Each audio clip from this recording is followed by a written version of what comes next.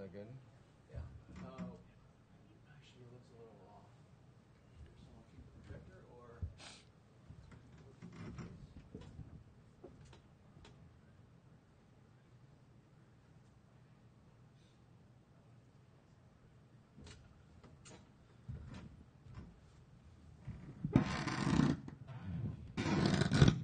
Is this working? You guys, is that good? Am I good here? All right, a couple more questions and then we'll get started. Um, we have about a minute according to my uh, phone.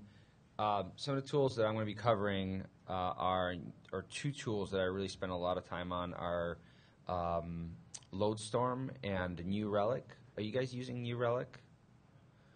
Okay, so it's it's it sounds like by hands of or looks like it's about a third as well. Or you're heavily concentrated in It's about a third of New Relic users, right? Uh, what are other tools that you're using if you're not using New Relic? Okay. XHProf. JMeter. That for this for load testing. Okay. What about so load testing tools other than load? Have has anybody heard of Loadstorm? Okay, cool. Has anybody used the new version? You guys use the new the new version? Okay, cool. I'm going to talk a lot about that. I, I just use that tool. It's it's a it's a nice tool, but I'm sure there are others, and I've used others that are uh, probably equally as good. Uh, so other load testing tools, JMeter, Siege. Oh yes, Siege. That's it's an oldie but goodie. Any, anything else? Which one? Blitz. Uh, what's the? Is that the one that uh, comes with the Acquia subscription? I don't know, it's blitz.io. Okay. Well, I think I'm gonna get started. Um, let me set my. So again, thank you for coming. Um, I've planned 45 minutes.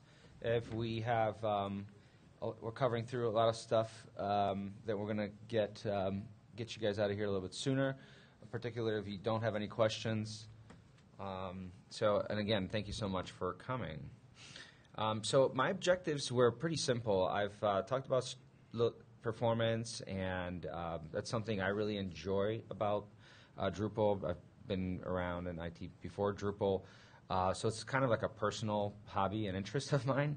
Um, and so what I did is I, I tried to um, we've load tested other other uh, sites and, and, and our normal jobs, and I wanted to take something that I can really present to the community and kind of uh, break down uh, in MythBusters mode uh, what works and what doesn't work, or, or what are some of the what are some of the results that we've had on a pretty standard install on a pretty standard set of test cases, which hopefully you can take away and find and see what really works, right? I mean, obviously that's not going to work for every case. Every Drupal site is different.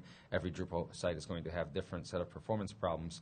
But if we're going to talk about generalities, and if you're you know kicking around things like everybody said, Memcache, Varnish, um, it, I thought it would be interesting to see what actually they, what, what kind of improvements they actually have, what kind of impact they have on a pretty typical setup.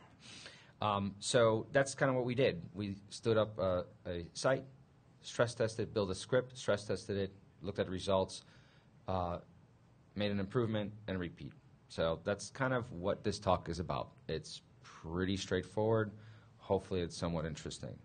Um, so, what I think, what I like everyone to take away is how to take a look at and what to think about when you're looking at test stress test results. Um, and also, and again, this is particular to how you test, which is almost, which is equally important as what you test. What are some of the improvements that we found to be have most impact? Does that sound like what you came in here for? Awesome. Well, thanks. So uh, a little bit about me. That's me. I'm not a scuba diver. That's me biking in Chicago. Um, I, I, I do like to bike in the winter, although a lot of my colleagues are a lot tougher. Uh, it was like minus 20 and they kept on biking. It's, it's uh, very impressive. So, uh, oh, by the way, I made it very easy for everyone to follow me on Twitter. My Twitter handle is A. Kucharski. Probably don't even need to write that down, just rolls off the tongue. Um, I work, I'm a founder and president of ProMet Source. We're a Drupal firm, just like many others here. Uh, we do focus really on, on DevOps, and we, we cook with Chef, and we provide support. Um, we've been around since 2003, And uh, did I mention we're in Chicago? We're in Chicago. And of, thanks, some of you ProMetsters, for coming, Melissa. Um, I want to give a big shout out to a few folks from my team that really, really helped me out. Basically, um, they did all of the work. Um, so it's uh, Kabla, Vincent, and Greg. They're on our team um, in SysOps or, or, or, Dev in Dev or in uh, SysOps. Um, so they're they're really great, and um, I couldn't have done it without them. Like I really couldn't have done this without them. And uh, I also want to thank uh, Scott Price, who is the CEO of Loadstorm. Again, I'm not here to kind of push a Loadstorm um, uh, tool, but uh, he has been instrumental and has helped me tremendously uh, looking at and analyzing some of the results uh, when I mentioned that I'm going to be using his tool. So, Scott, if you watch this on um, recorded video, thank you very much. I really appreciate it. Okay, so a couple of things of what this is not. We're going to get to the good stuff in a couple of minutes. Um, what load testing is not is it's not front end performance testing, right? So we're not looking at improving your web page load um, as it loads without without any stress on your site, right? That's very important. I highly encourage everyone to do that, but that's not what we're doing here. It's also not high availability analysis, right? So somebody said add more servers. Absolutely, that will increase your performance. However, it is not testing your high availability. High availability gets tested when something gets broken. If you've heard of Chaos Monkey, or if you haven't, I highly suggest you look it up. It's a, it's a, it's a methodology used by Netflix to uh, inflict pain and make sure that they survive any kind of unexpected um, events. Uh, so why load test? Uh, capacity planning. Uh, if you're expecting a big event, if you're expecting a spike in traffic, if you're expecting to uh, partner up with somebody who's going to send you a lot of traffic and you have some kind of an estimation, it also allows you to um, state what you can handle. Um, performance tuning is done on a page and by page basis. Ahrefs obviously does a lot that, of that for you. Tools like Devel help you uh, increase uh, or improve your page performance. That's very important. I, I have found that certain sites behave differently under load, so we have been able to ha- take some lessons learned uh, from that. And I have one little story um, before I jump into uh, data, and that is I found this study really fascinating. I, I, came across it at the Velocity Conference. By the way, um, Velocity Conference is amazing. If you haven't uh, gone to that, I highly recommend it. It's, it's all about web, uh, making the web stronger. Um, but StrangeLoop is a, a company that, that, presented this uh, case study. They're a um, performance. They, they are in web performance and all aspects of web performance, from, from network delivery to DNS to uh, application improvement. And what they did is they talked a large e-commerce uh, partner or client of theirs into allowing them to take a small percentage of their traffic during all throughout uh, a, a, period of time and delay it and then measure results. Uh, it's amazing. Whoever whoever talked them into it is amazing, and and, and the findings were really fascinating. So. Um, as you can see, in half a second delay, so you they started noticing um, an impact right away from a two from basically a 0.2 second 200 millisecond delay, page views started dropping. And then it was kind of consumer behavior, right, on this e-commerce site. With half a second, their bounce rates um, went up, their conversion went down, their page views went down, and when you delayed it uh, by um, almost a second, their cart sites started going down. So performance has a big impact on human uh, interaction with your site. So always keep that in mind.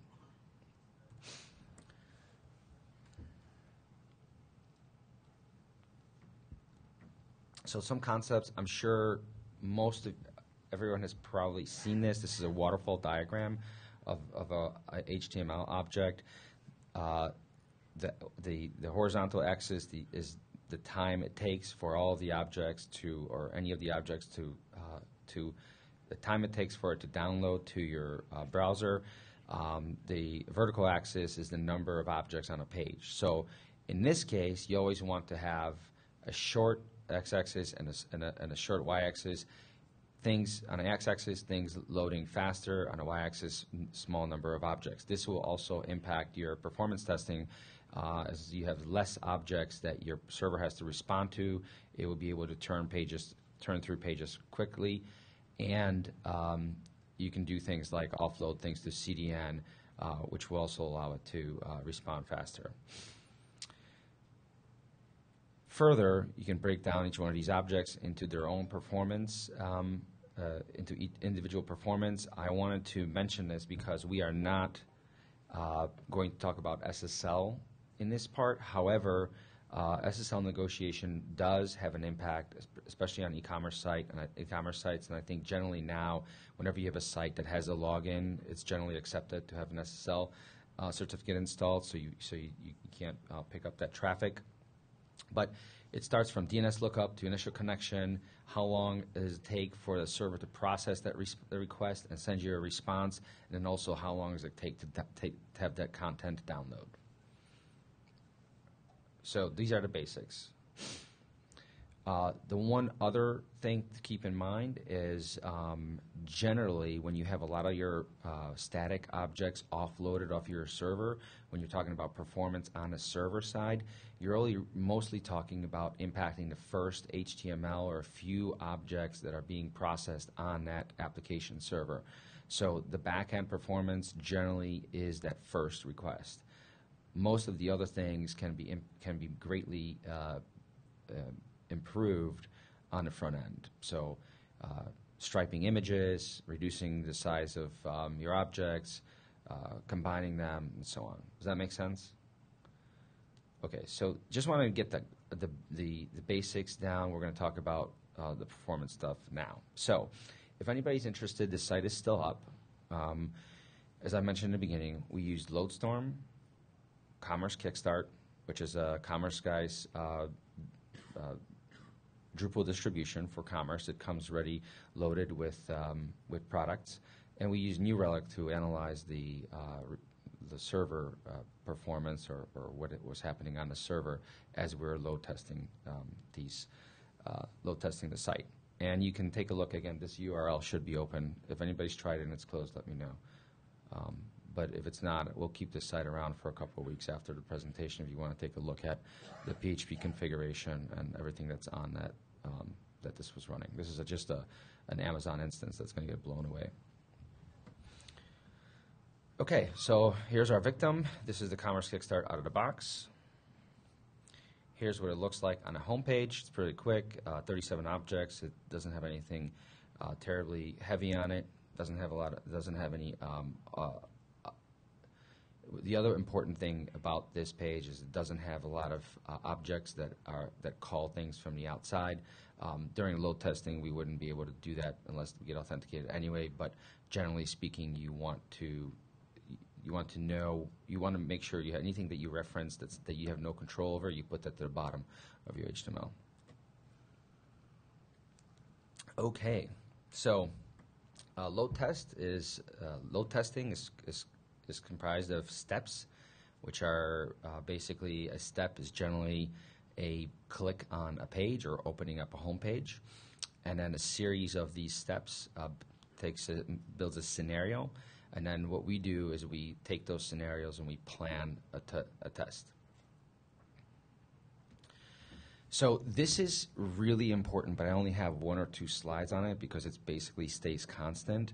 But when you build your load plan or your load testing plan, what you're trying to do is assume or, or basically simulate the traffic that you're going to expect when you expect the highest uh, peak of, of usage, right? And this is key uh, because if you if you the results are going to be very very very different if you make certain assumptions that do not reflect the reality of your traffic.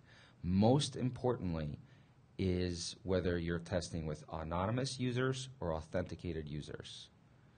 That is that that basic if we change if I were to take this test and change around the percentage of distribution between anonymous and authenticated, m- most of these findings will be completely different and invalidated. Um, so this is for this type of test. So let's take a look what we did. So what I've done is I've built four scripts. So four scripts was basically basically think of that as four different types of users that are le- that are hitting your site. My first script, which we run 70% of the time, so when we s- fire up our test, we give that a weight of 70%. That means that 70% of the users, as I'm incrementing the users, are going to be running script one, which is basically an anonymous browser. It's somebody jumping in, hitting a home page, hitting a couple products, and then bouncing out. Script number two is a login of a user, six page views, log out. Script number three, somebody logs in, puts a product in cart, and then bounces. And in script number four, this is a this is the one that uh, is the key script for this case. Is the script is a user that logs in, puts two products in a cart, and starts the checkout process. So inputs information to the checkout process and goes into the next screen. Uh, Loadstorm, or sorry, um, Commerce uh, Kickstarter saves that information into the database. So I'm able to view that information into the database. So um, the reason why this is key, and I'll probably repeat this multiple times, is as we're getting, as we're implying, as we're applying certain uh, tools to improve performance, some of them really benefit anonymous users. For example, like views. Some of them Im- impact non uh, logged in users. So if you change your tests around, you change your assumptions around, you're going to get different results. Our target environment was a single CPU, medium um, instance at Amazon. That's it. There's nothing else about this slide. Okay, so the second thing that we're trying to do is determine breakpoint, right? So how do you determine breakpoint under a stress test scenario? Actually, that's a question for you. Like, how would you determine a question? uh, How would you determine breakpoint?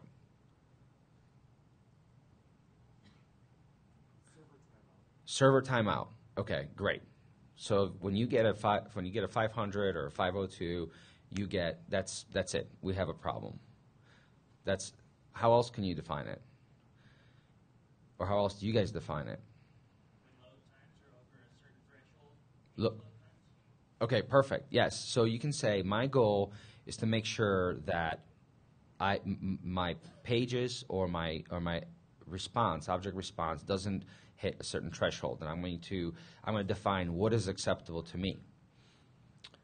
Um, so there are, there are different ways of defining it, and actually this was a, this was an exercise that we went through a couple times around because we kept on finding breakpoints, or we kept on finding some things acceptable, and, and, and we looked at you know load average, and we found that our little server was performing at you know 20 was load of 20 it was still sending responses that were acceptable to the users. We had that insight. Um, so we decided or i should say i decided that um, we're going to look at and determine that we have a break. We have we have reached an unacceptable response time or sla when the average response time to all the objects is greater than a second we have errors, an error rate of greater than 0.5%, and my home page on load on the first script takes more than 10 seconds to load. Those are just my definitions. They don't have to be yours. But I found that through running my test and repeating and looking at them, uh, this was an easy gauge for me to say, okay, now I know that with this performance, I can uh, we can have this many page views or we can have these many visitors before I break my SLA promise to my client or to my boss or to myself. Does that make sense? Right? So we're going to use this all the time. These can also vary. So if you set your error rate to be zero, then you're going to get different results, right? But we are a little bit more tolerant. Uh, it all depends on you. But but setting these goals in the, in the beginning is very important because as you're testing them, then you'll find out. You can say with some level of confidence, we know that we can take this much traffic with, and the server will do this based on this type of traffic. based, sorry, based on this type of user uh, profile uh, behavior. All right, so here we go. This is going to be lots and lots of graphs. Baseline, out of the box install, no optimization, no optimization, no caching. Um, we started a load test with 250 users. Any wagers on how far we got before we reached an unacceptable criteria? My goodness, that was spot on. Sir, you should come up here and help me out.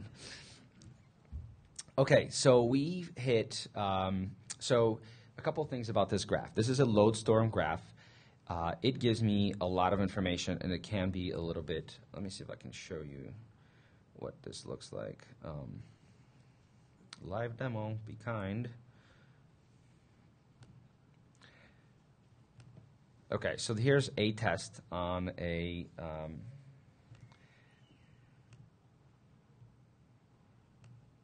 we're going to be seeing a lot of these, so I just want to. Um, okay, so the the bl- light blue line gives you an idea of how many users I have. So if I, I at a given time, so I'm going to start my test at 50 or something. I'm going through time. As time goes up, it's going to go up. Uh, so this is the blue line indicates how many users I'm hitting the site with.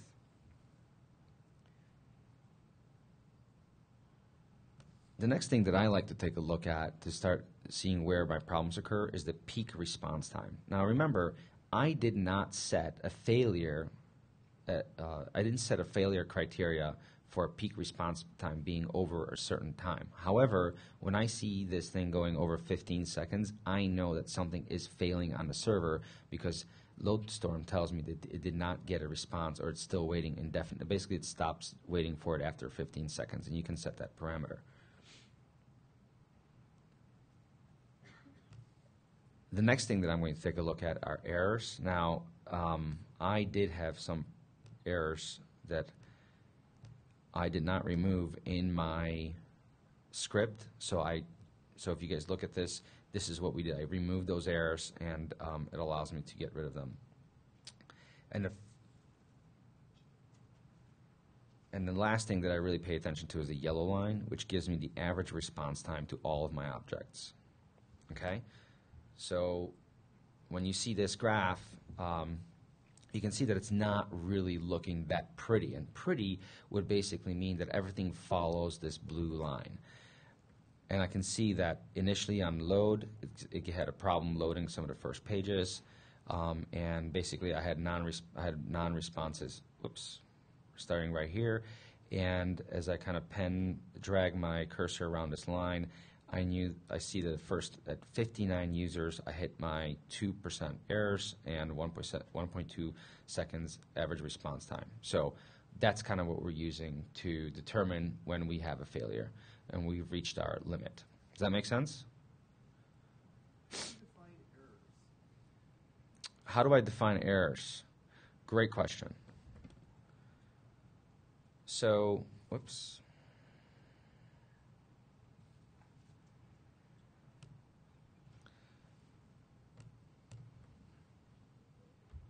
Basically, no, this is a bad example.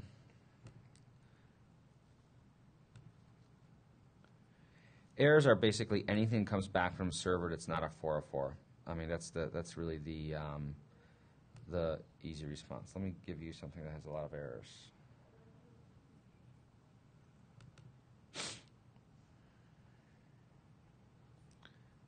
So at a certain point where um, your server starts degrading and it's going to start throwing all kinds of errors at you.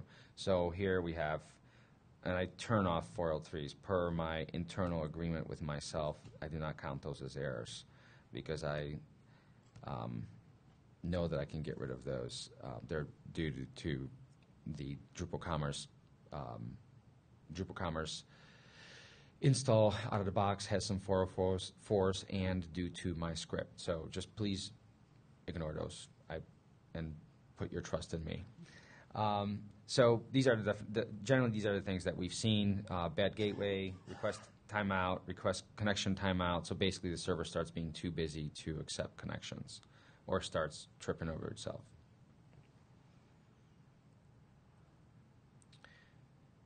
Um, let's see.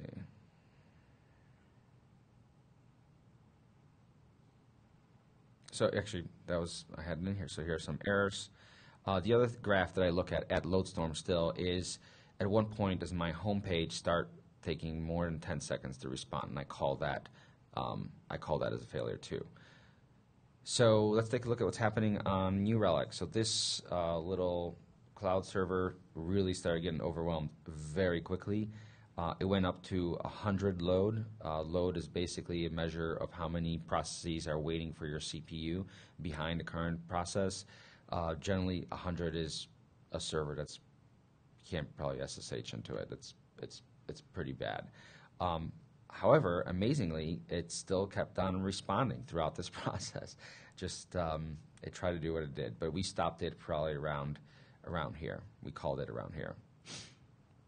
Uh, so what was happening? What were some of the top transactions? Um, actually, uh, one other thing I wanted to point out is that PHP was our limiter here um, on the application side. So New Relic allows you to take a look at what's happening on the application side.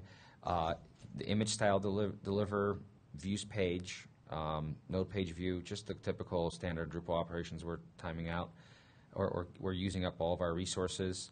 Um, and the shopping cart and collections of, of products are the largest uh, CPU uh, consumers.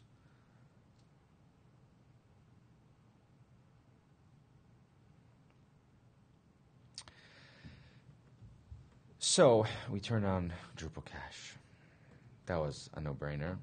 So what we did, what I did actually, is to measure and compare what we were able to get from baseline to subsequent improvements, is uh, come up with a number that gives us, based on the number of users at, at which, at the point where the failure occurred, we took that number and extrapolated how many users we could have, we could, the site could sustain in an hour, right? That's kind of a more of a, of a number that uh, uh, somebody making business decisions uh, can understand, right? Not, not to talk down to any to, to that, but I can, if you can say I am able to sustain 150 or you know, 1,000 users an hour, that's a number that you can think through, right? How many users? Because you can think through how many users am I, how many users am I going to get from search, from referral links. You can take a look at history or Google Analytics and see what the spike can be expected.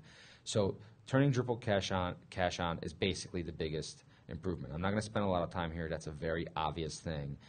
However, it, it's it's also uh, important to know that a lot of the, the the thing the advantages that Drupal cache on gives you, Drupal cache gives you um, actually, not all of the advantages Drupal cache gives you are uh, used by logged in users. So here's our famous, uh, or a graph that we're going to look at a lot. Again, we can see that we're at 265 users. That's pretty good, or much better, I should say. Uh, thing to note here is that uh, my point of failure for the average response time was at 265 my point of failure on the errors was at 290. And something interesting happened here, which I'm going to go through. Uh, something really bad happened around minute 40 of this test. Something was happening. Uh, as you can see, I had a pretty reasonable, well, it's actually not unreasonable for normal, but normal um, or a normalized load, and then something happens uh, at this point. Although, even though my CPU usage was already maxed out pretty early on, really a big, um, I can see that my PHP is consuming uh, or uh, memory con- consuming a lot more memory at this point.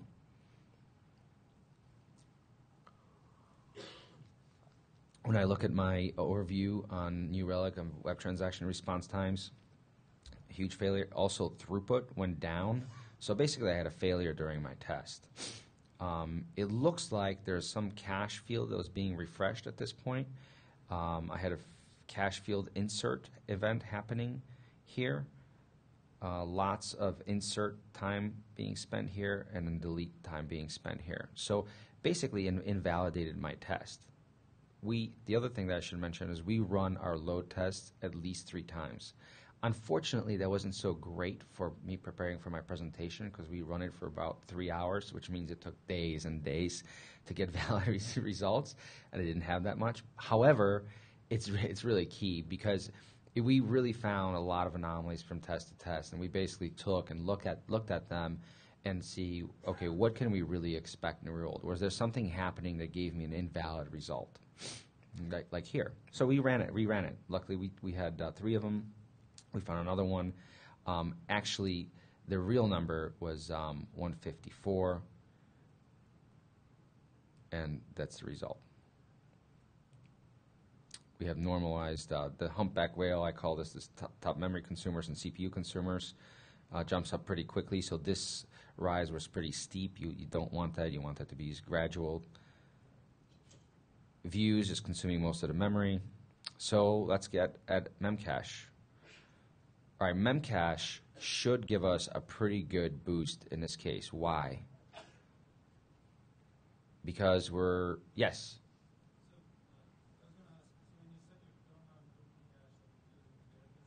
yes. Yeah, by,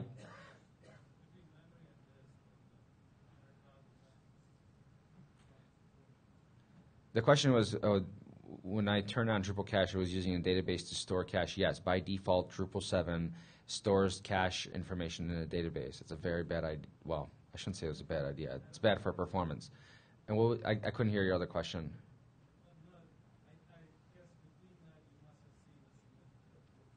Yes, so we have a pretty good improvement in Memcache. Why? Because Memcache uh, pulls stuff, it, it basically eliminates database. The, the from the slide where we talked about what kind of tests we have, although 70% of our tests are uh, anonymous users, 30% of them are not. So 30% of them uh, bypass reverse proxy and all kinds of caches from um, from Drupal, and they interact with the database as they're adding cart shopping, especially when they add uh, products to their cart. We're doing direct inserts into the database. So this graph is starting to look better. It's starting to look more uh, normal. Our SLA goes uh, goes up to 253 users. Is anybody surprised or not surprised by the um, Memcache finding? Is this along with your experiences? If we can take a look at top five uh, processes on the server, um, it's still PHP is our limiter. Uh, CPU consumers, PHP is by high, by far the highest consumer. So we are bound by that CPU on the PHP side. What's happening here, though, that's nice, is that um, we have more runway before the cliffs, right? So our our humpback excuse me, our humpback whale is uh, is is getting a tail. I didn't practice that. That's pretty good. Um, so um, we have more runway here. Uh, this isn't, you know, this this is not catastrophic immediately. Uh, that's good. You can see that it starts the, that our, our our problems start happening right around here. Memcache is engaged. Uh, still, PHP is using most of our resources or taking most time to respond. Here, a node page view. So it's still views that's causing uh, most of the delays. I was actually a little bit surprised by that because I thought that it would be uh, the inserts, um, but but it's not. Maybe it's because it's just 10% of the time. But uh, a homepage, no page view, uh, and then a commerce cart. That is um, that's always going to be a problem in this e-commerce site because it pulls every page view. Uh, there, the commerce cart um, module gives our users an indicator of how many items they have in a cart. So it, it, it must be checking it in the database and pulling it from there. Uh, if you look at top five modules in Drupal and New Relic, it gives you views, social menu items, and then co- commerce product reference. Okay, um, so before we, yes. You know what? Actually, I'll hold off on long. I'll, I'm going to wrap up pretty fast. Um, hopefully, in 15 minutes, leaves us 15 minutes for questions.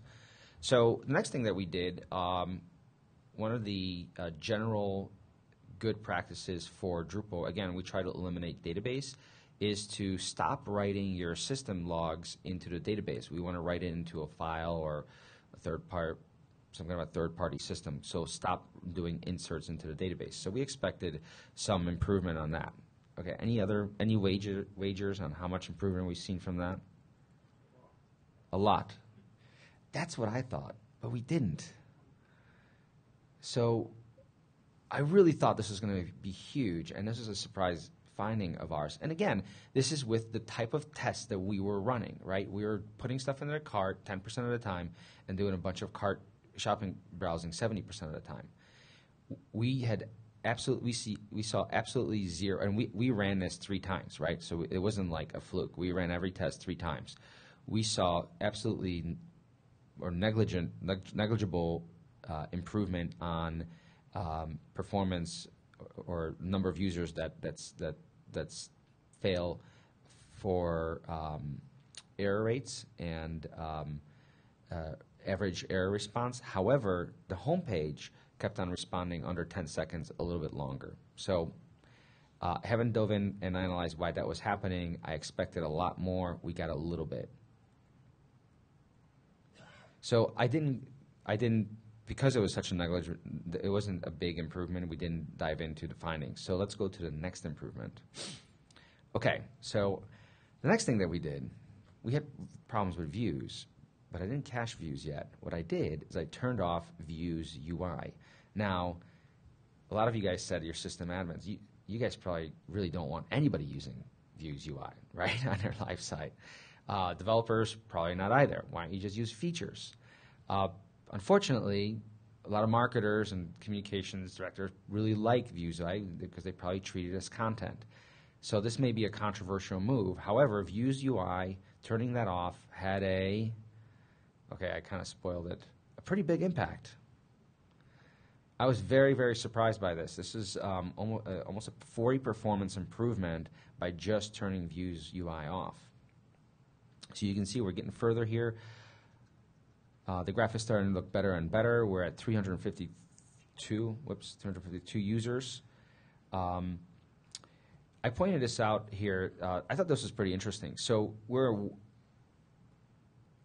we are uh, getting we, we're breaking things down at um, some somewhere around 15 load. That's that's like um, I didn't. So I know this says two CPU. Let's ignore that because we switched that. We switched that machine when I was taking these screenshots. But when the test ran, it was at one CPU machine. So one CPU machine, you know, it was it was working just fine at over 10 load. Um, that was something of a surprise for me. Generally, we try to keep it at half. That's even too much, right? If it's if it's at if your load is at the number of CPUs that you have, that's generally a warning sign. So this thing was able to respond, um, uh, keep on responding at 10. The other, the other thing that I don't know if anybody's noticed this on this screen. This is a this is an Amazon thing. Do you see a problem with the CPU usage here, or something that you would not be happy if you were using this computer server? Like 50% of our CPU time is stolen. So that means that it's going to maintaining that virtual machine, virtual environment. Okay, so our does anybody else call, call this a humpback humpback whale, whale graph? No. Uh, this is looking much better, right? Um, kind of looks like it though, right? Give it to me. Getting much better. Um, PHP still like we haven't been able to get around it. PHP um, this is oh this is Nginx, uh, not Apache. So Apache you have, but it's still PHP processor. It's still taking a lot of time. It does have caching enabled. It did have a, we did check. It did have a pretty good hit rate. It was still uh, consuming. That was our limiter on this on this one CPU server.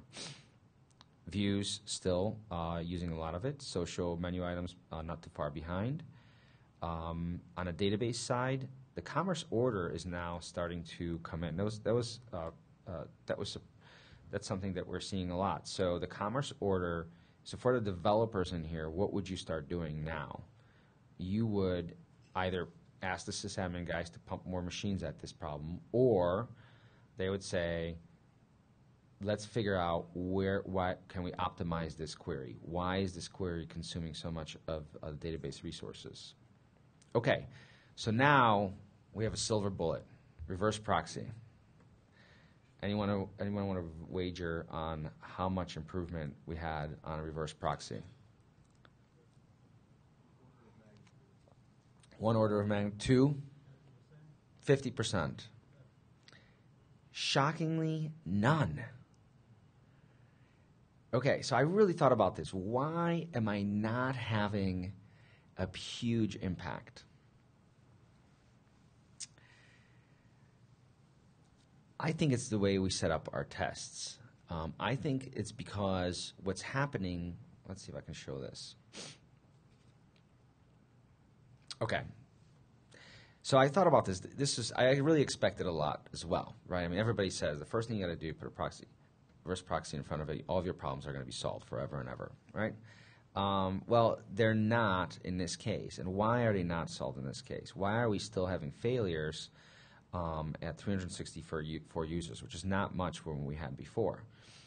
So I looked at this graph and I thought, okay, well, what is this? What's happening here? Why am I having this? You know, I'm getting some responses that are taking a really long time. What, what are they doing here?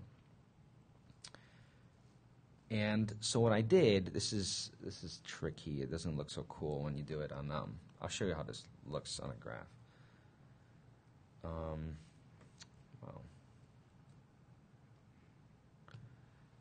So again, I'm not trying to sell Loadstorm, but this is a pretty cool tool. So what it allows me to do, remember that um, my script number four was the script that did most of the heavy insert insertion and work, right?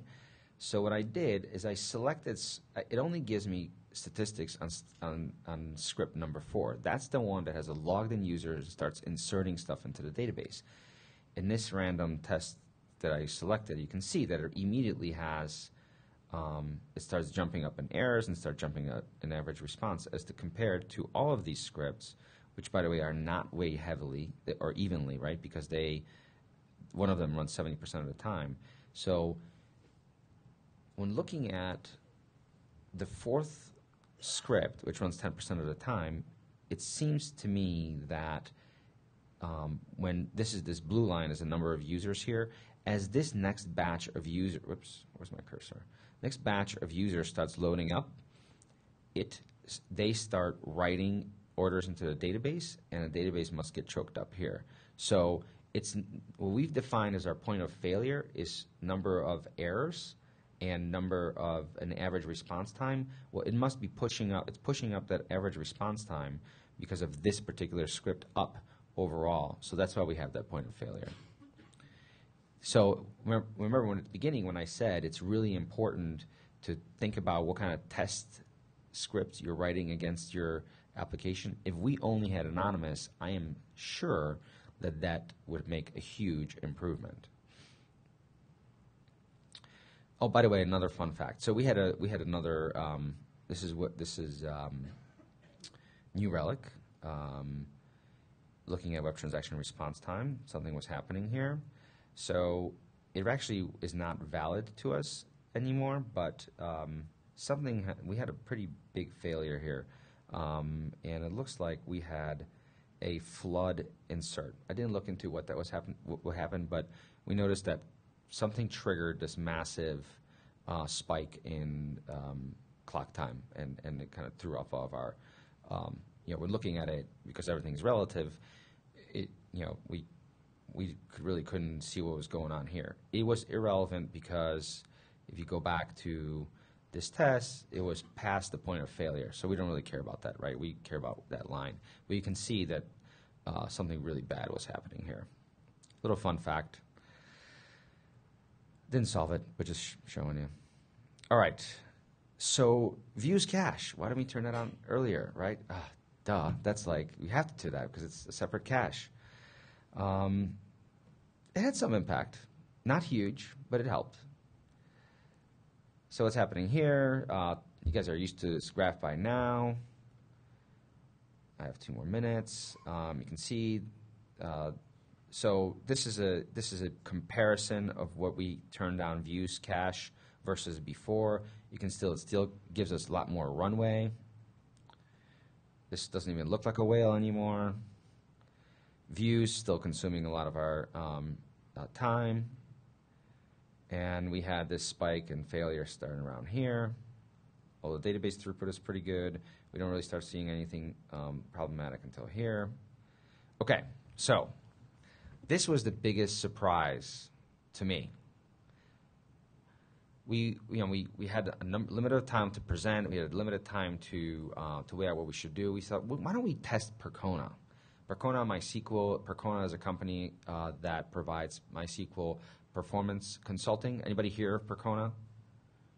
Anybody using anything but uh, MySQL? Maria. Okay. I would. Um, Maria as well. Okay. So does Maria have multi-threaded uh, capabilities? Okay, it does. Okay, so perfect. So Maria probably will have the same result. The MySQL Enterprise version does. The free version does not. So look at that. That was pretty surprising. We had a huge improvement in uh, performance by installing Percona MySQL. This graph looks like great, right? We only have sm- small problems. Uh, again, not, not a whale. So we actually, uh, it was running so well, I had to I had to rerun it um, with a thousand users. We're maxing out at 500 to to get some failure points. Um, it does. We're still not out of the woods, right? We're still running at 100% CPU usage. The loads still go up really, really high at 35, but but it kept on responding and it kept on performing. Uh, views and special menu items are still um, and, and the views, I'm sure. So, so this is one one thing that New Relic. If I wish, is anybody here from New Relic? If I if an improvement that I would love, if you could, um, when I'm looking at your at the this is the application level and those that I'm, I'm Drupal. When I'm looking at um, most time consuming, um, and, and I know that's views. I wish that I could just click through views and tell me. Which view, like in this category or whatever, this this um, module, which module, if I clicked on views, then it would take me to the database um, view with only those that module's uh, select or insert or, or you know, CRUD statements uh, being showed up here. So I can clearly see that commerce order, I cannot get around this commerce order. So I have two options. If we continue to work on a, on a, on a team with this, and, and we didn't want to scale it by hardware, right? Option number one, basically eliminate that commerce order view um, from my um, from my pages, and and I, I don't know whether actually I don't know exactly whether uh, there is a I didn't. So basically, my op- my options as a developer would be to work on this module and figure out how to make it run better. So in summary, we have um, implemented Drupal cache, which obviously had the biggest performance improvement. Uh, Memcache for anonymous for Memcache with, uh, uh, the second largest. Syslog, sadly, I wish it, it did. Uh, in our test, did not improve uh, performance uh, so much.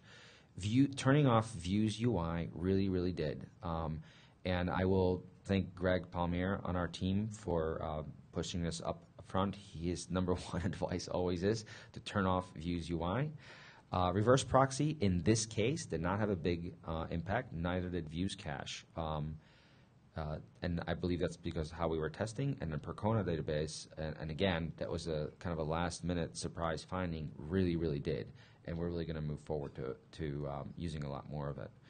Um, so I scheduled to finish at 5:45. It is now 5:47. Um, here are some resources that I put on here. I, by the way, have um, I put all of my stuff in a spreadsheet that this is the link to, and I will put. Um, so I kept track of all of our um, all of our tests when they were run, um, what scripts they they ran, what were the results, what breakpoints they, what, when they broke, uh, and I've graphed all of this um, here. So all of this is um, available. I will upload my presentation to uh, SlideShare, and I'll be more than happy to take any questions that you have right now. Yes, uh, could you come up? Actually, I was told to ask people to come up to the mic so that we can record those.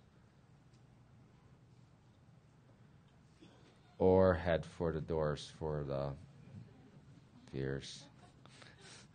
yes. Hi, uh, I was just wondering if you could uh, elaborate on maybe why you think Views UI um, has that impact. I, my understanding was that if you were uh, an authenticated user but you didn't really have permissions to edit views or access the UI, that that wouldn't uh, really impact you. Yeah, un- unfortunately, I, I can try to stipulate, but I'm not enough of a Drupal developer to give it justice. Um, I'm sure, sure we'll have some blogs written up after this, and I'll, I'll, um, I'll ask some of our devs to contribute to that. I'm going to guess that it's probably because it's calling some hooks or it's calling some code while that view is being, or the view is being called. I, but I,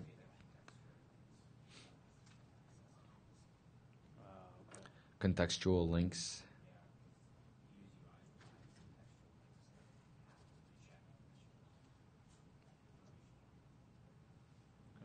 I just had one other one. Um, Yes. Just quickly about Loadstorm.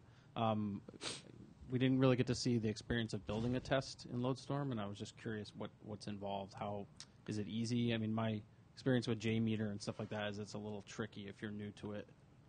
Uh, yeah, okay. That's a that's I I really struggled whether to keep it in. So the question whether to keep it in or to um, take it out.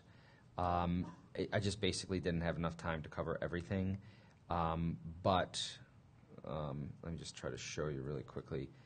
It's it's a really powerful interface. Um, so building tests takes place by uh, going through your browser and basically clicking around on what you want to do, and then saving as an HR file. HAR file. It's basically um, so if you go to your your this are, if I went to my developer tools and turned um, developer tools on and I kept track of a log, it basically keeps track of all the objects that are downloaded. I take that file, I upload it here, I create a script which then takes a number of tests, and then what I can do with this script is I have really a lot of options. So one of the things that I didn't talk about also is the fact that we had to build users because we had two users logging in. So we had like had to build like a thousand users. So what I did is I build a create an account script. I saved it. I uploaded it here. And then what you do is you parameterize this thing, and you can use. So this is a HAR uh, file, and then you can just look at HTML. And then what you can do is um, you can modify the URLs, you can modify the forms, so you can use your own data to input your um, your in, into your forms, or you can have Loadstorm generated for you. You can replace the query string, server URL, server URL. I mean, it's really pretty powerful. You can also add transactions. So if you're interested in uh, if you're interested not in error rate or page, average page load, but you care about how long does it take my user to buy something or to create an account and you have an acceptable limit for that, you can create a setting there and just basically fail it at that. So building scripts is um, is fairly easy. You just you know it sounds like a pain to click around on your browser and upload this file, but it's not. And then running it, you basically select your scripts, you add them here,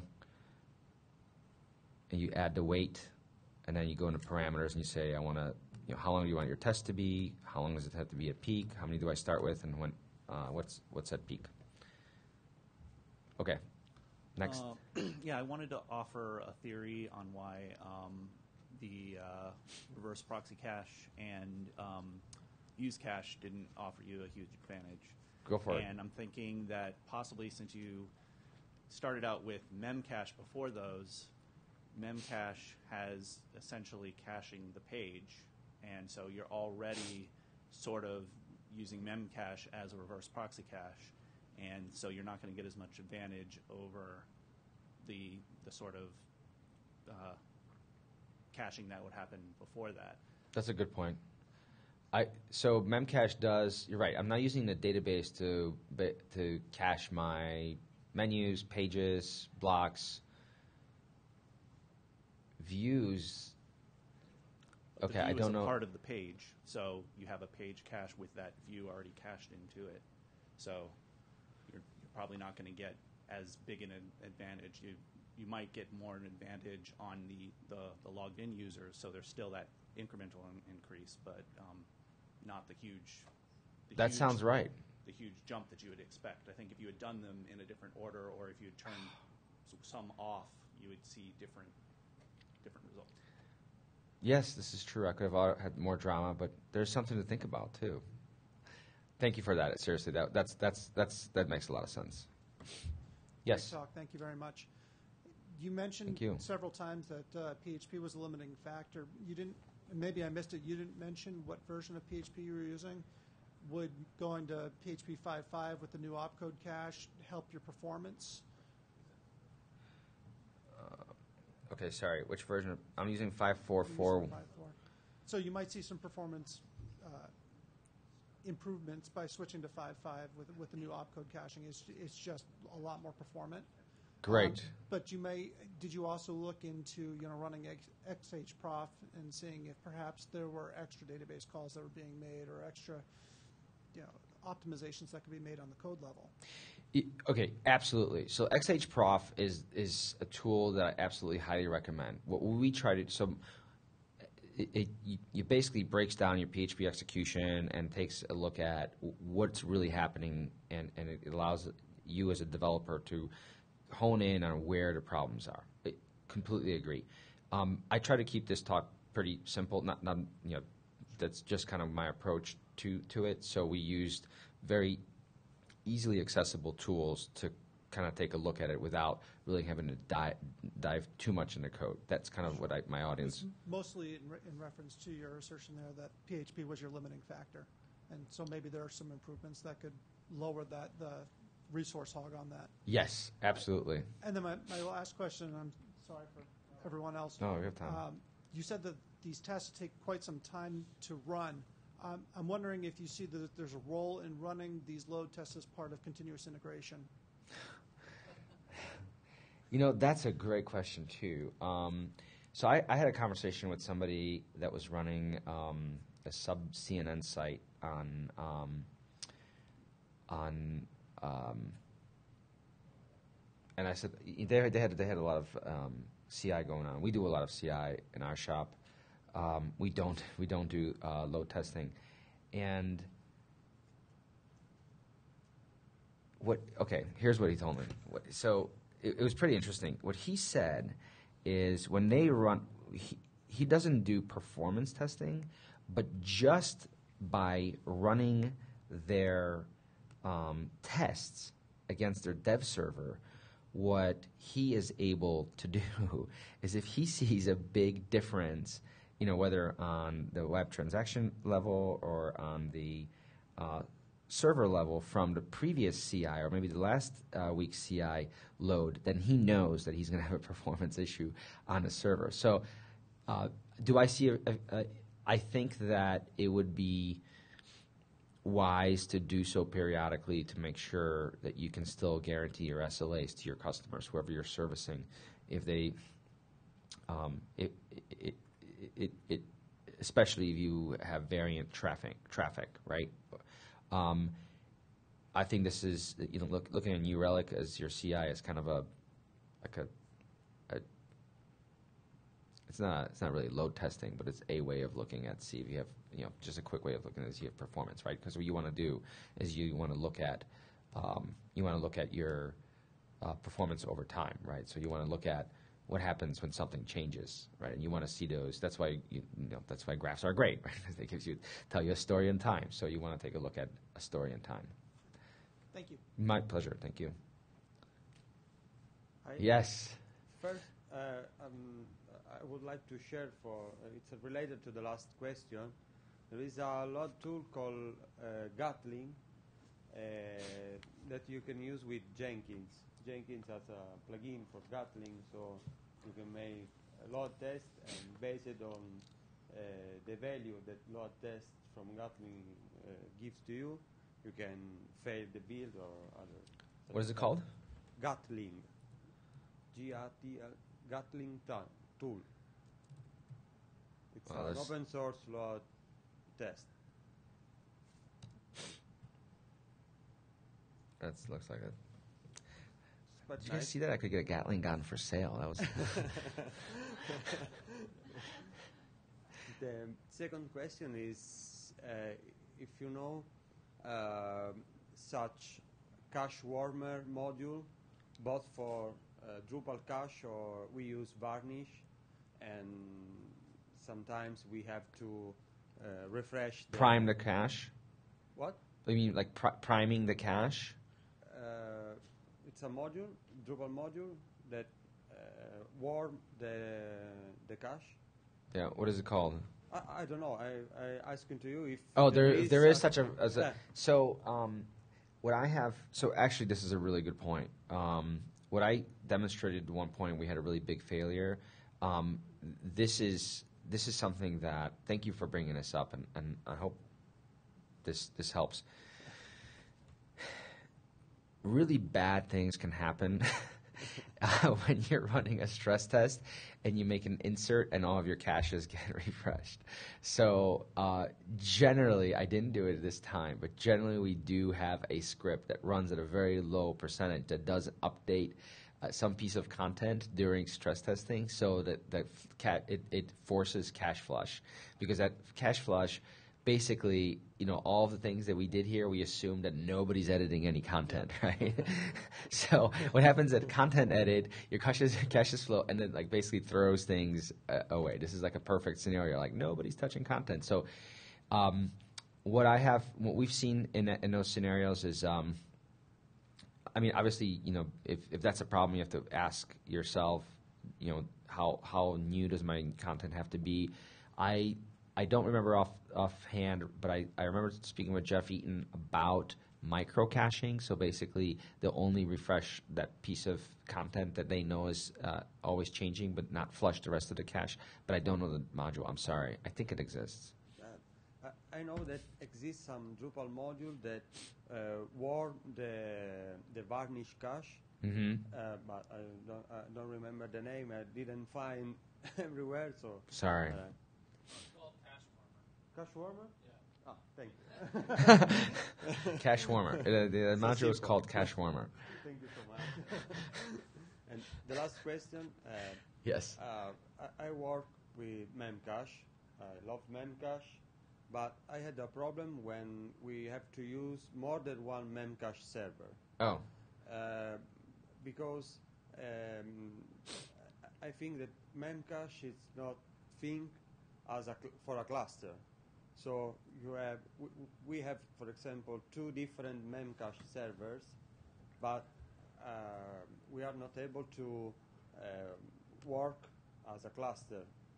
So the front web server try. I, I know in Drupal you can define uh, an array with all the memcache server, but when he hit one memcache, he found the the, mm, the key. The, but Mhm. when he hits the other memcache server, uh, there is not the same key. So you have to um, reload the page, fill the memcache. Well, are you saying? But you, I, th- if I recall correctly, what you do is you define. You don't have like redundant memcache servers. You define the bins and you split them up between different servers. We have three for um, three web uh, front web server. Sorry for I apologize for my English. Yeah, you know, let's take it. Uh, that we, we can try to talk about that. I'm actually probably not going to be able to answer your question on that. That's that's too deep for me, right? Sorry. I, I probably won't be. I, I haven't set up cache memcache servers myself on multiple servers, so Ah. I will. Okay. Yeah. Thank you so much. All right, guys. Thank you so much. I really appreciate everybody sticking around. It's six o'clock, two minutes after six. Sorry for going over. Thank you so much. Have a great rest of the DrupalCon.